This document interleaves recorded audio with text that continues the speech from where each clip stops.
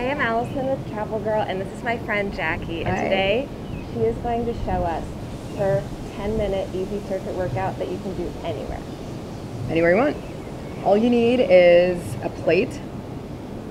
So you can grab any kind of plate you want. Did you give me a smaller one because um, No, I'm not I- skilled in this workout yet? No, I gave you, I'm just showing you guys two different options that you can still get great results.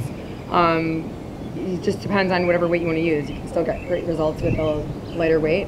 Um, or you can use, if you're up for a, a challenge, you can use a heavier weight. Whatever, both are great. Um, and then you also need, also there's only one of them. okay. Um, and then you just need some dumbbells. So you can do, you could use a five pound, you could use 10 pound, you can use 20 or 25 pound, it doesn't matter. Do something that you're comfortable with that isn't gonna strain your muscles too much. You should be using a weight though that you can feel. Okay. You should be able to feel it. If it's too easy, you may wanna up your weight a little bit. When I say up your weight, maybe by five to 10 pounds All right. if it's too easy.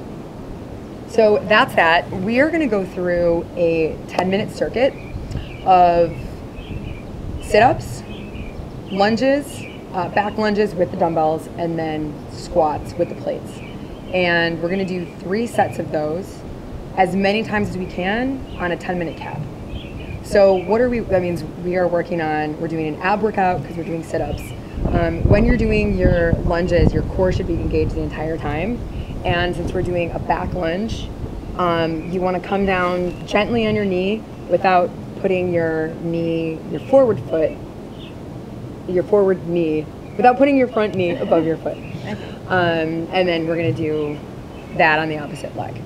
And then when you are doing a squat, you want to make sure your legs are a little more than hip width apart, shoulder length apart. And when you come down, you want your neck to be in line, your spine to be in line with everything. You don't want any of this, bad on the back, and you don't want to be looking down or looking up too high. Everything should be aligned. And then you're going to come straight up and squeeze your glutes. You ready, Okay. girl? Couple variations of sit ups that we can do for the first part. Sit down with me, Al. You can do your regular sit up, like this. Making sure those shoulder blades are coming off the ground. Am I doing it right? You are doing it right. Uh, you want to keep your, pick a spot and don't let your neck kind of like move away from it.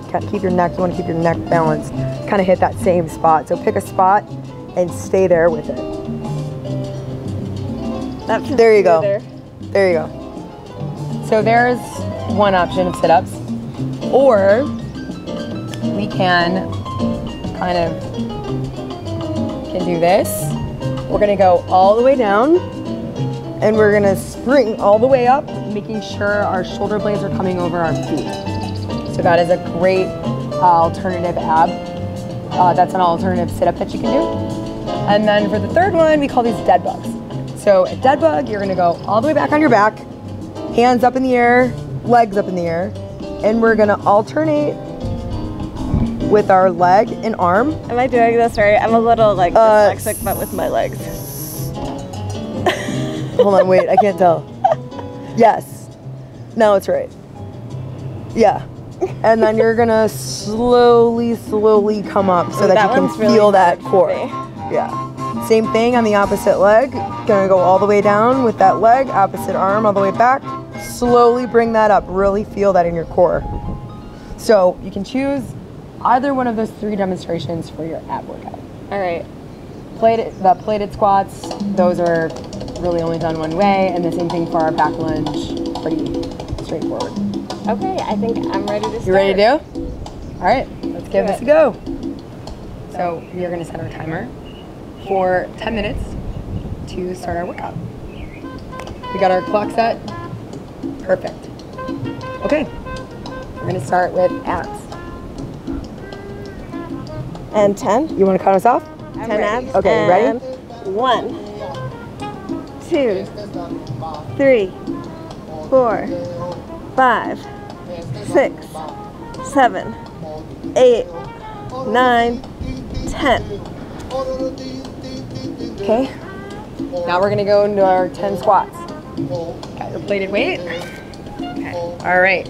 Squeeze those glutes on the way up. All right. One, two, three, four, five, six, seven, eight, nine, ten.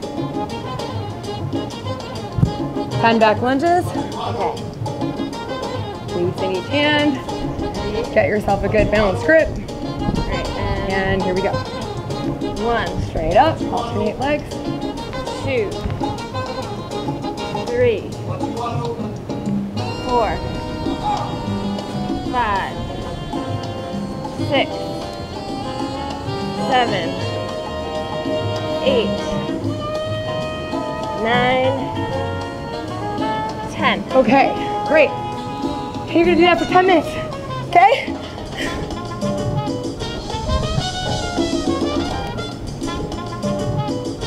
Travel girl, thank you for having me. How do you feel? Oh my gosh. You feel good? was.